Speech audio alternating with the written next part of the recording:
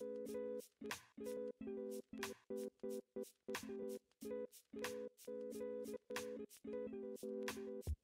you.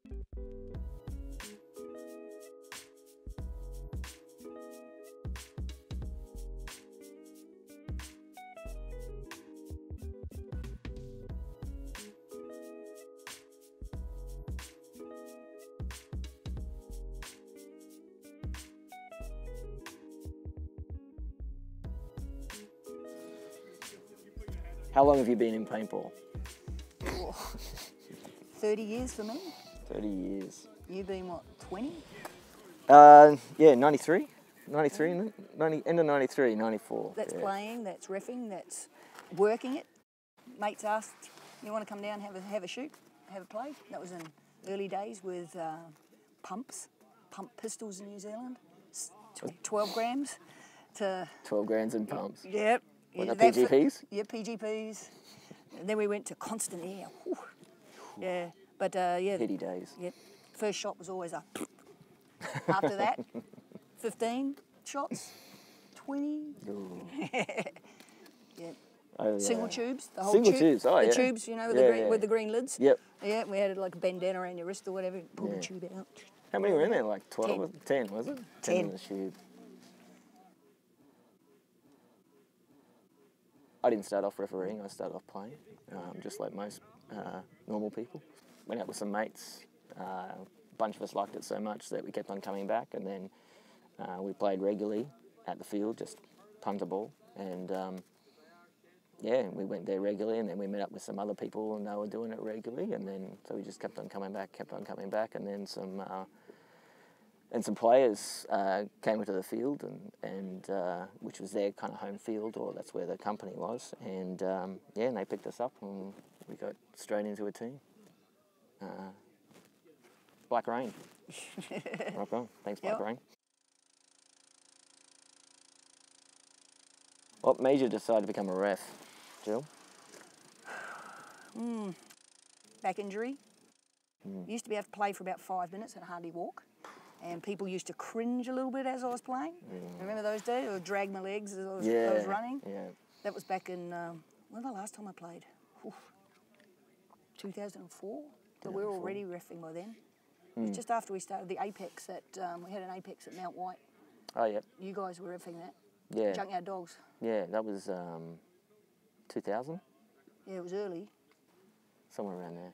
So it was like, uh, ref all day and hardly walk, or play play for five minutes and hardly walk. And so it ended up just refing more and just kept going. And now, what's Refs Inc now? What, 12 years did we work it out the other day? 12 yeah. years? Was it 2005? Was the yeah, first one? around 2005, first one, yeah. So Hmm.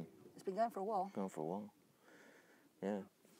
I think uh, I think in the 90s there was a there was a whole bunch of uh, refereeing going on from the players. There was some teams you um, some tournaments you'd turn up to, and um, there was an expectation that um, Yeah, you know, peer, uh, peer refing. Was yeah, it? yeah, team it's- reffing, it was yeah. team refing. So Yeah. you know, like there was some you know smaller tournaments you would get uh, a team that was playing in the tournament, and they would ref a game or a couple of games, or you go to a tournament and uh, the team uh, whose home field it Yeah, was, local team refing, yeah. they tend to ref, you know. So like, um, so we're here in South Australia in Strathalbyn at the moment. So uh, if you'd come here um, back in those days, it would have been uh, one of the um, one of the- Fusion. Fusion Yeah, they had or- what three teams? yeah, chaos and, Yeah, and stuff Chaos like that. Boys, they, they would have they would have been refing it at, in Yeah. those days as well. So, um, or you know, uh, even way way way back, um, hardline and stuff. You know, from Yeah. the from the early nineties, mid nineties. Um, yeah, so like you, you you got into refing a little bit that way back in those days, uh, but um, Yeah, it became, when it when it became when it became a necessity a to necessity, have neutral yeah. referees that know what they're doing, that's right. know the rules. So it got, it got pretty yeah. serious around Apex. I think was Yeah. was pretty serious. We didn't uh, we didn't we didn't really play the first season of Yeah, Apex. well, we you- we you may have played that basically the first season. yeah we may have played one, um, Yeah. but we mostly refed it because uh, we needed to not needed to, but we wanted to support Alex in the in Yeah, that for the and, series, um, yeah. and do, and do the right thing. And we um, tried to you know make sure the rules in, in that Yeah. series were right and um, and pretty succinct. Mm. What's your favourite aspect of your role, Jill? Your role? Oh, well, how come I have to answer the question first? Because I'm up. Because I'm, You're asking. I'm reading it out. That's why I got the cards. Um, you're losing them too. Mm. I think uh, it's the main aim, I suppose, as well as being giving, trying to give people a level playing field, so that when they come out at play, they know how it is, how they're going to be treated, treat everyone the same, fairly, and um, be as consistent as possible. So Yeah. it's good for them. Yeah, I agree with you. I think that's the that's the best aspect of um, being a referee for me. Just as in being a referee, um, is giving the opportunity for the players just to be able to play paintball and fair paintball. Um, I think so it's a challenge too to get it right, to be in that right position, to be able to make the call. Oh. Yeah. Like, hey, we can't do it 100% of the time, but to try and be i- in that position to make that call at the right time, yeah, so that guy doesn't play on, Hmm. to make it fair. Yeah, for sure. The the the, the, the, skill to it um, and the physicality and so forth is certainly an enjoyable part. Um, in the, and in the aspect in my role, I kind of take that a little bit deeper as well. So with the inside Refs Inc, you know, there's a certain as, you know, there's certain roles that we play uh, within Refs Inc, and um, and I like those aspects as well because you get to um, help teach people, Yeah. bring them through, um, you know, teach people new skills and so forth as well. Um, Yeah. um, So you know, you get to after the tournament, you get an opportunity to look at some of those uh, lesser experienced players and, and help them out and say, Yeah. okay, you know, we see a bit of paintball and we notice this and yeah, Yeah. You've had a few years of it. Uh, what's the biggest challenge to being a paintball referee? well, that comes down to the same thing being in the right place at the right time, Yeah. Reading the play, Yep. being able to go, right, that guy's going to go, body language, Hmm. things like that. Dealing with people that are extremely passionate about what they're doing Yes. and trying and to keep it's people calm. see. And, It's good. It's yeah. good. It's good to see the passion in the sport and everything. Um, but sometimes that passion tends to run away, um, Mm. and people um, may not be self-aware as much. I guess uh, when they are wrapped up in that passion, and that's challenging to deal with because uh, you can see it in their eyes a lot of time. They don't mean what they do or what they Mm. say. Um, and you know that once they're out of that emotional state, uh, you can sit down and you know have a, a great talk with them and have a chit chat, and Yeah. uh, and everything's fine. Um, Oh. But yeah, that is there is there is a that is a, a difficult part. Uh, that, I was going to say the, the interpersonal part Part, is yeah. is certainly a challenge at times. Um, yeah, it's good and, though. and oh, uh, hey, the It's weather. The weather the weather can be a challenge. Two degrees. Brr, two degrees. Aussie's from morning. Darwin at the moment. Two degrees, degrees. today.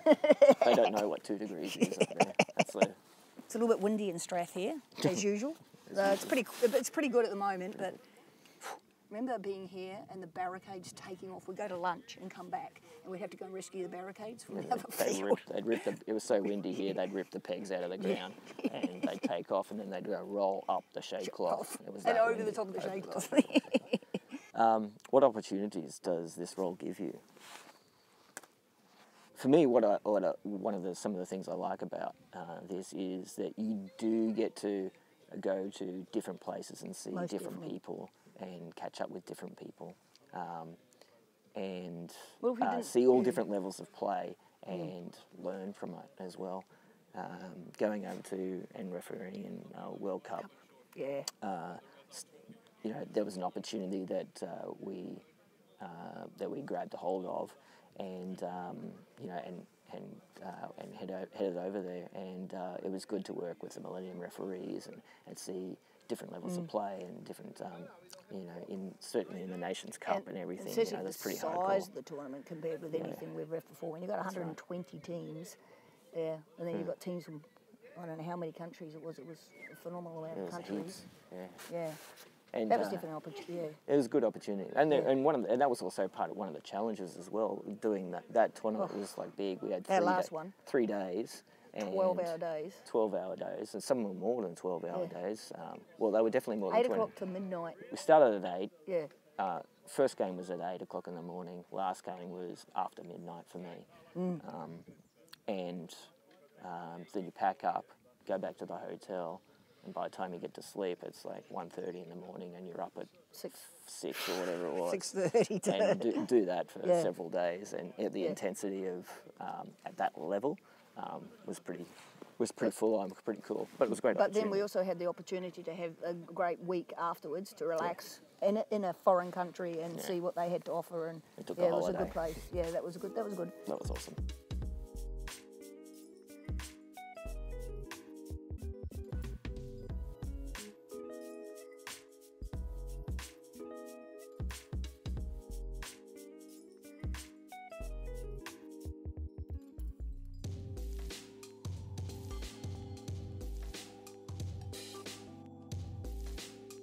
What sort of events do you look forward to and why?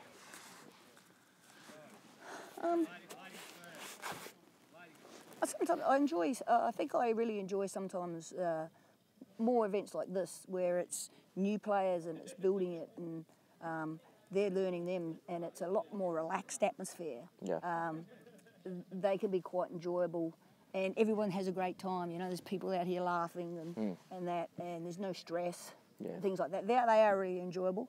Um, going to new places sometimes, I think that's Yeah. pretty good if we get a new opportunity to go and ref somewhere and help them out and get them started and things like that and the tournament scene. That's that's pretty cool.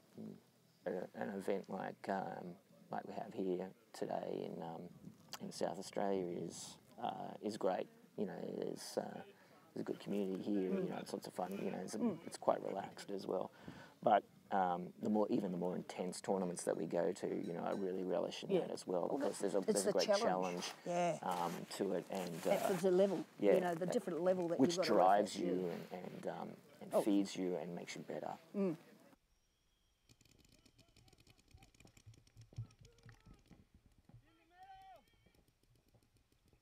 From your perspective as a referee, what are the three things you've learned to make a successful paintball team? Communication is key across the field. Oh, field. definitely. I think, um, to, and teamwork. Uh, Teamwork, you gotta yeah. you gotta work as a team across the field. You can have a team of superstars, or you can have a superstar team. Team of superstars will win. Um, the superstar team will Yeah. win consistently. I think. I think um, trust, trust in your teammates that they're going to do the job. Mm. Yeah. You know, trust that your front guy is going to pop up and make that move, and, Mm. and that your back guy is going to be making sure that no one's going up, running up and bunkering you. Yeah, yeah, that's I think right. that's that's a, a good, a vital thing in a yeah. team. Shoot straight, obviously. Yeah, gun skills. Gun skills. Guys, yeah, choose- you use your yeah, gun yeah, skills. gun skills. Gun skills, teamwork, um, Yeah, I think we've them more than three now. Yeah, we have, but you know, there's two of us, so we Yeah, get six. Six between us, hey. What three tips would you give to someone who wants to be a ref? Number one, read the rules. You've got to understand the rules and know You the do. rules to be able to enforce the rules. You do. Rules always used to be too passed down Yeah. through teams, Yeah, and you know, this is what the rule is. that's right. And you know, sometimes there's misconceptions about that because um, there's an assumption uh, because you've played with the rules for such a long time as a player that you go, oh yeah, these are the rules and nothing has changed. And, and maybe something did change, but maybe that change was like two years ago, and you might not have realised it as a player. It's and as I said, it's a learning experience. So you know, if that person goes away and looks that rule up, or or comes to understand what that rule is, well, then they're better equipped to go play Yeah. paintball, Yeah, Um, true. and then it, you know they don't have to don't have to be worried about that type of Mm. stuff anymore. You just you're better equipped to go out and play the ball that you need to Mm. do because you know that these are the bounds at which you can operate, and uh, I can go out and, and this is what happens. Mm. And if I run that guy down and he spins on me, well, it's going to be a bad time for him. You've got to uh, you you've got to pay attention and you've got to have good concentration. Uh, if you're going over a multi-day tournament, Yeah. you got to be Well- you got to be mentally, not just physically strong. You got to be mentally, Mentally strong to be able to focus and um, and be able to concentrate for that long period of time with so much going on. When the finals are on, we've got to be at our best because the Mm. players are playing the hardest that they're going to play for the day. That's right. we're at our, you know, the most tired time of the day. You know, Yeah. day or two days. we're still very capable and everything like that, but it's, um, you know, that's when we need to step Yeah, up, and that's when when our A game comes Yeah. into play, and that's what um, experience Mm. uh, brings you. Uh, is you know you've got to be the sharpest. Not Mm. you know you've got you've got to make sure you bring your A game because you can bet in the finals or at the end Yeah, if it's a, yeah. if it's tournament without finals at the end. Yeah. Those last games is where everyone's bringing their A game because everyone needs those points to, to come Yeah. out away the winner. And um, I want to be number one. Why not? It's a Yeah. competition. Yeah, exactly. It's a competition. I think another thing is being um, being in front of a player. You always want to try and be in front of the player so you can see the paint going in. Because if you're standing behind a player, you know you're not going to see the paint going in. Yep. So being in front and And and and don't be and don't be scared to get into the field and get in there yeah. and, and look at that. You know, you might don't stand on the sideline and just call them out Yeah, and tell them to play on. Yeah. You've got to have a look because you get in there and That's right. So don't be. I, I Yeah. think it's don't, don't be afraid because um, sometimes people are, a bit, you know, they see all the paint, the wall of paint coming down, Yeah. and um, you know, some people are a little bit reticent to uh, to get into that, into the field and into that stream.